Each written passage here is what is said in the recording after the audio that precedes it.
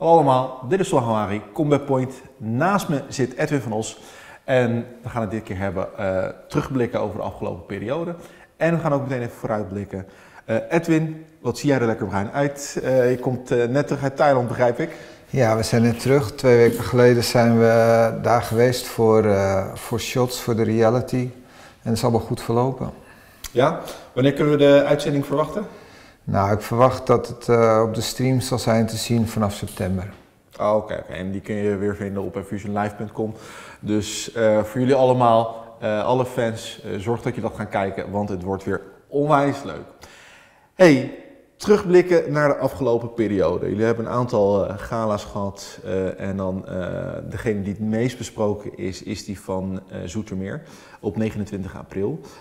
daar zijn ook twee protesten binnengekomen. Laten we bij het begin beginnen en die van het protest van Ben Mo op samen bespreken. Want wat is het standpunt van, het van Infusion daarin? Nou, voor alle duidelijkheid, bij de FOG zijn natuurlijk de protesten binnengekomen, zijn ook door de FOG behandeld. Uh, ben Mo's protest is uh, afgewezen in zoverre dat ze wel een illegale handeling hebben gezien, een stoot achter het oor. Uh, wij hebben als Infusion besloten om, om het dan niet als een knockout tegen toe te, toe te kennen. Dus we geven wel ehm, Typhoon vier punten, maar Bemo krijgt één punt omdat er een illegale techniek zou zijn gebruikt. Eigenlijk als een soort compromis erin. Verder hebben we besloten, omdat het echt ondoenlijk is uh, om protesten te behandelen in de league, om geen protesten meer te honoreren. Dat geldt voor de laatste ronde in Antwerpen, maar ook voor uh, de komende leagues in de 67 en de 85 kilogram. En uh, ik, ik stel, doe eerst even een stapje terug. Uh, want uh, beide vechters hebben, of Ben Modi heeft een punt extra gekregen. Dat betekent dat hij op gelijke hoogte komt staan als Typhoon in de league. Nee, hij staat nog achter op Typhoon. Hij staat nog achter op, op Typhoon? Oké. Okay. Wat zijn de argumenten daarvoor geweest om dat niet meer toe te laten? De argumenten zijn geweest om geen protesten meer toe te laten, omdat het inderdaad, iedereen denkt altijd na afloop dat hij gewonnen heeft. En wij doen vanuit Infusion in onze ogen alles eraan om het zo goed mogelijk te laten verlopen. Voorbeelden te noemen is uh, vijf juryleden in plaats van drie. En uh, sinds kort hebben we ook een zogenaamde videoscheidsrechter, jurylid. Die zit achter in een uh, afgesloten ruimte, heeft een video voor zich staan of een videoscherm. Die kan alle beelden terug opvragen en die staat met een oortje in rechtstreeks contact met het hoofdjurylid. Dus er zijn eigenlijk zes mensen die op dat moment de partij bekijken en beoordelen. En de beslissing die zij nemen, die is vanaf nu echt bindend.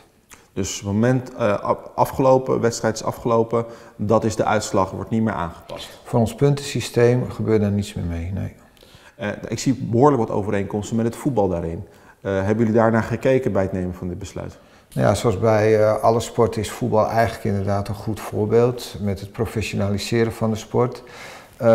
Als er een buitenspelgoal wordt afgekeurd of, of toegekend, dan ver, verandert de uitslag in het voetbal ook niet meer. Na 90 minuten klinkt het fluitje en uh, dat is bindend voor de uitslag.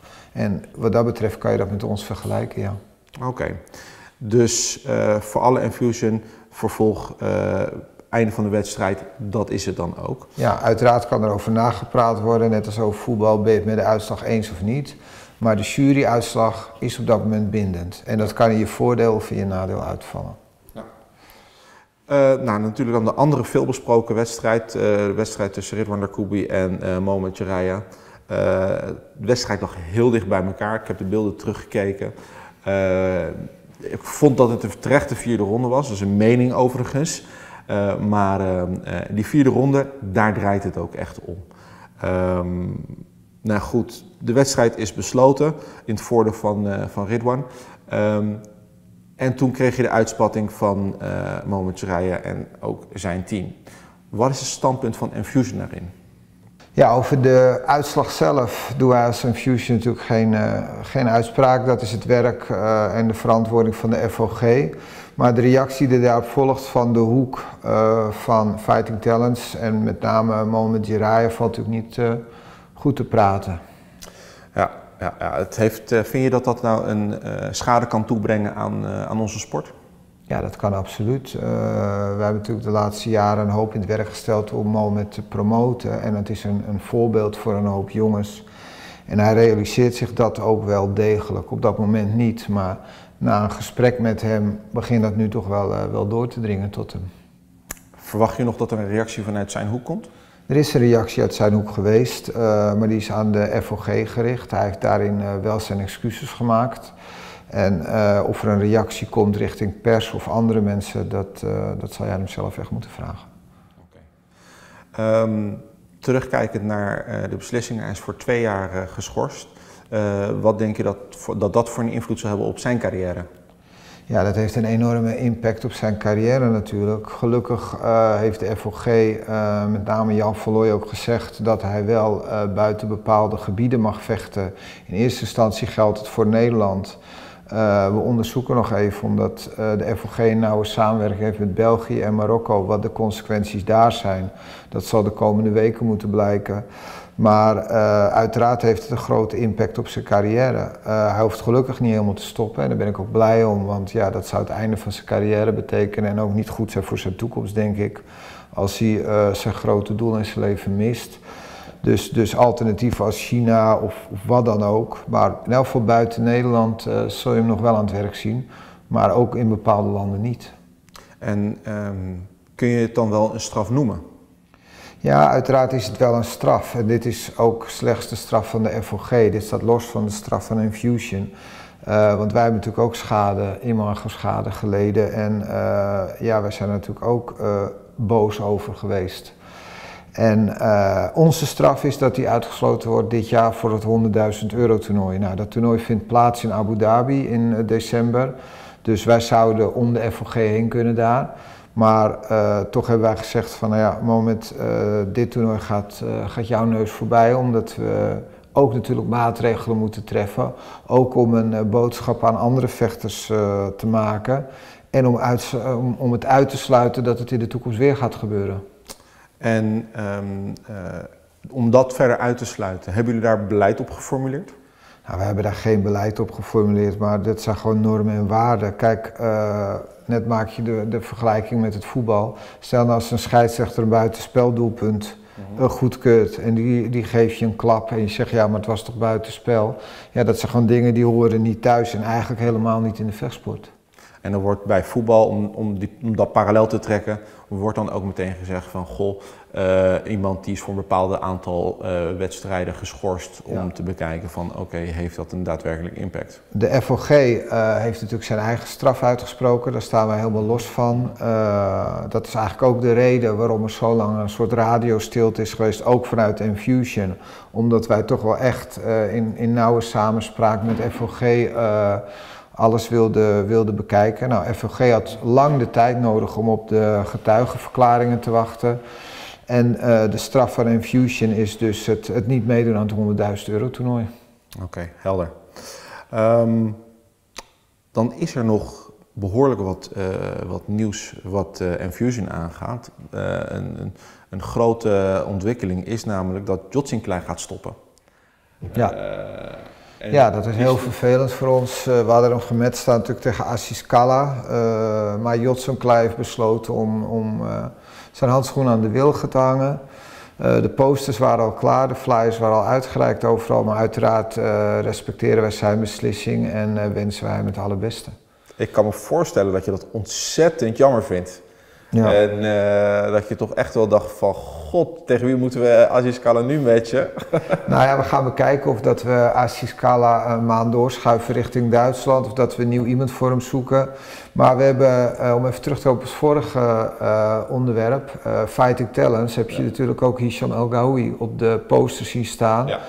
En die heeft ook een schorsing gehad ja. van zes maanden van de FOG. Die heeft geen schorsing gehad vanuit Infusion omdat ik vind, als je gaat schelden op, uh, op juryleden, ja, het hoort niet. Maar ja, je blijft dan wel aan het schorsen natuurlijk. Dus die, die schorsing komt vanuit de FOG. Wij hebben als Infusion de hoek van uh, Jiraya niet gestraft. Ik heb wel een, een pittig gesprek met, uh, met de broers gehad en, en mijn mening aan hun gegeven. Maar dat, ja. is, dat is niet voor deze tafel, dat was tussen ons. En uh, van mij mag uh, Hisham Al-Gawi starten in de 85 kilo league. Maar de vraag is of dat van de FOG mag. Oké. Dus dat is, uh, dat is ook nog in volle gang. Eigenlijk heeft de FOG dus gezegd, luister, je mag niet starten in Zwolle. Dat zou inhouden dat hij de hele league, het hele jaar gaat missen. Ja. Want als hij niet aan de eerste wedstrijdronde deelneemt, dan heeft het voor ons ook geen nut om hem verder in te laten stromen, want zo werkt een league niet. Uh, hij wil in gesprek gaan met de FOG, met uh, meneer Jan van Looyen en alle andere betrokkenen, om zijn straf om te zetten misschien in een voorwaardelijke straf. Hij heeft ook heel veel spijt van de actie, begrijpt ja. ook wat niet kan. Het is natuurlijk ook een beetje zo met Hisham El Gawi dat we natuurlijk al tien jaar in de ring zien en eigenlijk nog nooit dit soort incidenten hebben gezien. Ja. Dat het voor het eerst is dat het gebeurt. Maar ja, ik blijf daar als Infusion buiten. Ik wacht gewoon af uh, wat de FOG zegt. En als de FOG besluit bij zijn zes maanden te blijven, dan zal uh, Hisham El niet te zien zijn in de 85 kilo league. Ja, en dat terwijl hij uh, een van de grote kanshebbers was om. Ik denk dat hij zeker een van de grote kanshebbers is en dat het ook eigenlijk zijn laatste grote toernooi zou zijn geworden. Ja. Dus het zou heel vervelend zijn om zijn carrière op deze manier af te sluiten. Het zou een, een smetje zijn. Ja. Ja. Uh, ja, Zwolle hebben jullie uh, op de rol staan. Uh, maar uh, op de korte termijn nog, nog veel meer. Canada, Marokko. laten we beginnen bij Canada, want dat is een uitstapje die volgens mij niemand aan zag komen. Nee, wij willen heel langzaam gaan proberen de markt in Noord-Amerika te ontdekken. We weten allemaal dat het een hele moeilijke markt is. Dat er eigenlijk ook nauwelijks professionele kickbox-gala's in Canada zijn. Je hebt met een Athletic State Commission te maken. En ja, daar zit je met heel veel ja, dingen waar je aan moet voldoen. Je moet bijvoorbeeld alles vooruit betalen. Uh, ja, eigenlijk een, een, goed systeem moet ik zeggen. Heel professioneel. Maar voor, voor heel veel promotors nog een stap te hoog. En wij gaan kijken of wij die markt aan kunnen. En of het interessant voor ons is natuurlijk.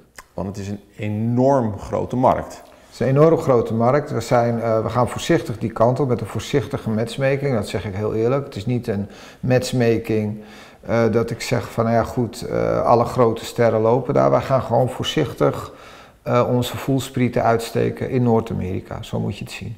Gaan jullie net als in Nederland merken op proberen te zetten? En dan bedoel ik op de sporters, de atleten die jullie gaan proberen te, op te bouwen? Nou, we gaan eerst kijken hoe het niveau daar is. We gaan de markt verkennen. We gaan met, voor het eerst daar met een nieuw productieteam werken. Dus het zal echt heel langzaam stap bij stap gaan. En we gaan kijken, nogmaals, is het interessant voor ons? En zijn wij omgekeerd interessant voor u natuurlijk? Ja. Geldt dat nou ook voor Marokko?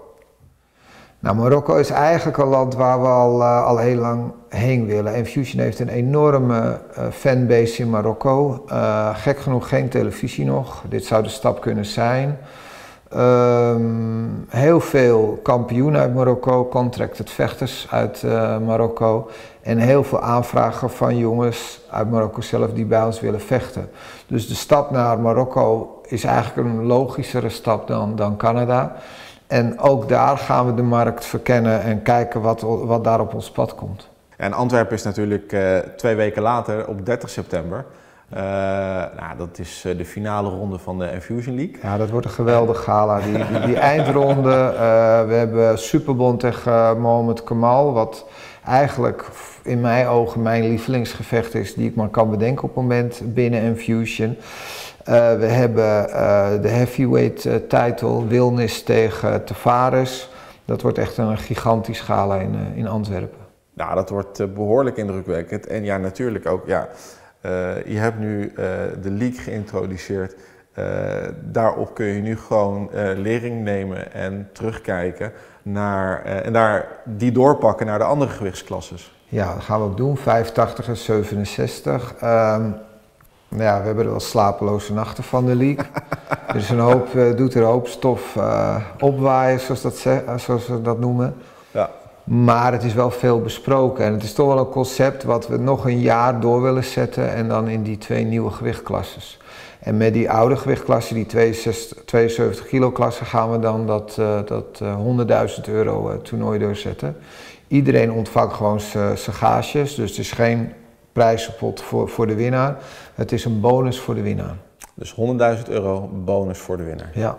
Is een flinke, flinke Ja, bonus. dus de winnaar gaat daarmee vandoor en de andere vechters eh, krijgen gewoon hun eh, startgaasjes. En die vindt plaats in eh, Dubai. Eh, Abu, Dhabi. Abu Dhabi, En ja. de voorronde, dus de laatste 16, eh, vindt eh, plaats in Amsterdam op 11 november. Als alles goed gaat met de vergunningen. En eigenlijk is het gewoon een beetje een gekopieerd systeem van de oude K1. Heel gaaf. Ja, Ik, eh, ik kan niet wachten. Jij? ik ook niet. Ik heb er heel veel zin in. Is goed. Wij ook. Wij van Combat Point ook. Nou, rest mij jou eigenlijk alleen nog maar te bedanken voor je tijd, Edwin. Het was weer een waar genoegen. Graag gedaan. Voor jullie allemaal, ik hoop dat jullie deze video gaan liken, gaan delen. Ik hoop dat dit ook eh, helderheid schept in alles wat er de afgelopen periode is gebeurd. Eh, er is een hoop eh, stof doen opbijen. Het is iets nieuws wat Infusion heeft gebracht. En eh, daar zijn lessen uitgetrokken. Nou, die lessen die worden eh, doorgezet de komende tijd. En eh, nou, ik hoop dat iedereen tevreden terug kan kijken naar de afgelopen periode. En weer vooruit kan kijken naar al het leuks wat vechtsport jullie gaat brengen. Voor nu bedankt voor het kijken en tot ziens allemaal. Dag!